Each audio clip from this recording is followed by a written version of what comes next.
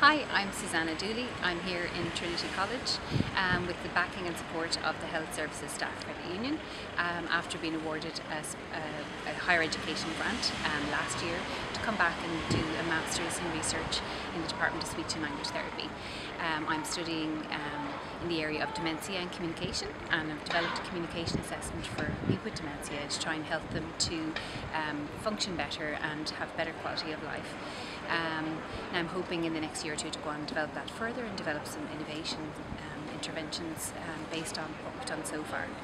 Um, but I've had a great year and um, it's not over yet and I, I suppose initially it was a little bit difficult setting in, settling back into college life after 20 something years out of academia but um, so far so good and I've got my worked my way around and learned how to use all the different systems. Um, so I just want to thank Anne Sharkey and Alan Duff for their help and support this year. Many thanks.